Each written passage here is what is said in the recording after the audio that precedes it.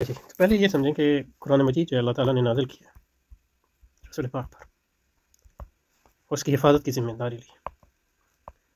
اس کی جو حفاظت ہے، اس سے مراد صرف اس کے لفظ کی حفاظت نہیں ہے۔ لفظ کی بھی حفاظت ہے، اس کے تلفظ کی بھی حفاظت ہے۔ اس کے لیے علم تجوید اور علم کراط ہے۔ اور اس کے معنی کی بھی حفاظت ہے۔ یہ اہم بات۔ تو جب ہم مجددین کے کی بات کرتے ہیں تو ہم صرف مجددین میں ان لوگوں کو شامل نہیں کرتے جو علم دین جس کو سمجھا جاتا ہے، اس کی انہوں نے حفاظت اور تجدید کی، بلکہ وہ لوگ بھی جنہوں نے علم قواعد لغوی صرف اور نحو اور علم لغت۔ اب یہ جو بڑی بڑی لغات لکھی گئی ہیں، مثلا یہ کہ قاموس ہے فرود آبادی کی یا لسان العرب ہے، تو یہ یہ وہ طریقے ہیں جس کے ذریعے اللہ تعالیٰ نے جو قرآن مجید کے معنی کی جو ہے حفاظت کی ہے، لغوی معنی کی۔ اور معنی کی کئی قسم ہیں اور ان تمام اقسام کی حفاظت کی ہے جو قرآن سے متعلق ہے تو یہ یہ بہت اہم بات ہے۔ اور قرآن کو سمجھنے کے لیے مطلب یہ کہ قرآن کی آیات کئی قسم کی مطلب یہ کہ ایک واضح آیات ہیں۔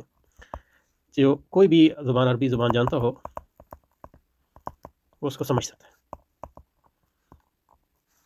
جیسے مطلب کل ہو اللہ احد، اللہ الصمد لم یلد ولم یولد ولم یکن له کفوا احد۔ کوئی بھی شخص جو ہے عربی زبان جانتا ہو یا اس کا ترجمہ جانتا ہو تو اس کے بنیادی معنی جو ہیں واضح ہیں، اس میں کوئی اشکال نہیں ہے۔ آج بھی ایک عام عرب اس کو سمجھ سکتا ہے۔ لیکن قرآن کے پھر دوسرے وہ آیات ہیں جس میں یعنی الفاظ ایسے ہیں جن کے معنی جو ہے استعمال کی وجہ سے، استعمال کی ندرت کی وجہ سے، استعمال کی کمی کی وجہ سے یا ترک کی وجہ سے عام بول چال میں وہ ہر ہر اہل زبان یا ہر عربی زبان بولنے والا نہیں جانتا۔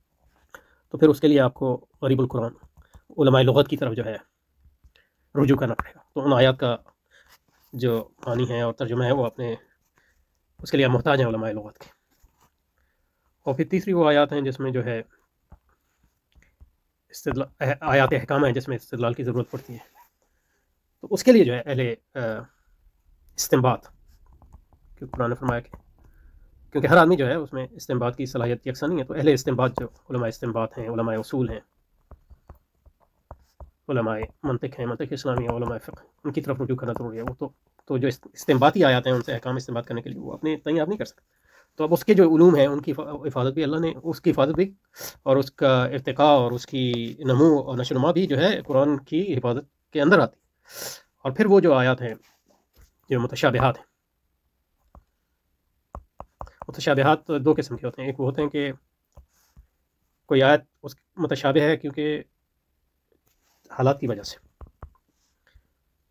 اور علم انسانی کی عمومی ارتقاء کی منزل جس پہ ہے وہ انسان، اس کے نتیجے میں ایک آیت جو ہے، ایک وقت متشابہ ہوتی ہے۔ تو یہ اس کو کہتے ہیں اضافی تشابہ یعنی ریلیٹیو اور یہ وقت کے ساتھ یہ تشابہ جو ہے ظاہر ہو جاتا ہے۔ مطلب یہ کہ جو آیت اجماع ہے، وہ رسول پاک کے زمانے میں آیت متشابہات میں سے تھی کیونکہ اجماع جو ہے رسول پاک کی زندگی میں اس کا کوئی اعتبار نہیں، کیونکہ اس کی دو ہی صورتیں ہو سکتی ہیں، یا اجماع جو آپ کے رائے کے موافق ہو، تو اس صورت میں مطلب اجماع کو کوئی معنی نہیں ہے، کیونکہ آپ کی، وہ آپ کی رائے ہے اور اس، لیکن یہ کہ اگر اس کے مخالف ہو تو آپ کی رائے کی مخالف ہو تو کفر ہے، تو اس لیے اجماع کا وجود جو ہے رسول پاک کے زمانے میں جو ہے اس کی کوئی حیثیت نہیں تھی، تو اس لیے وہ اس کی ضرورت نہیں تھی تو وہ سمجھ میں بھی نہیں آیا لوگوں کو، لیکن یہ کہ جب رسول پاک نہیں رہے تو اس کے بعد جو ہے لوگوں کو اس کے معنی جو ہے اس کے وعدے ہو گئے۔ اور یہ تو یہ یا ایسی آیتیں قرآن کی جو علمی حقائق کی طرف اشارے کرتی ہیں جن کے معنی جو ہیں اس زمانے میں یعنی وعدے نہیں تھے کیونکہ یعنی فزکس فار ایگزامپل اس کا ارتقا اتنا نہیں ہوا تھا۔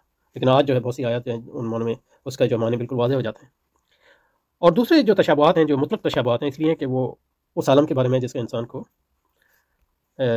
علم نہیں ہے اور نہیں ہو سکتا۔ کیونکہ وہ ایک اس عالم سے بالکل مختلف ہے جس عالم میں ہم رہ رہے ہیں۔ تو وہ متشابہات جو ہیں، وہ اس کا جو علم ہے، اس کے جو معنی ہیں، وہ راسخین فی العلم کی طرف رجوع کرنا، متشابہات کے۔ تو راسخین فی العلم کا وجود بھی قرآن کی حفاظت کے اندر آتا ہے اور ان علوم کا وجود جو راسخین فی العلم کے علوم ہیں، علماء راسخین کے علم علوم ہیں، ان کی حفاظت بھی قرآن کی حفاظت کے ذمہ میں ہے۔ تو یہ بنیادی بات ہے، پہلی۔ تو اس لیے جو یہ کہہ رہے ہیں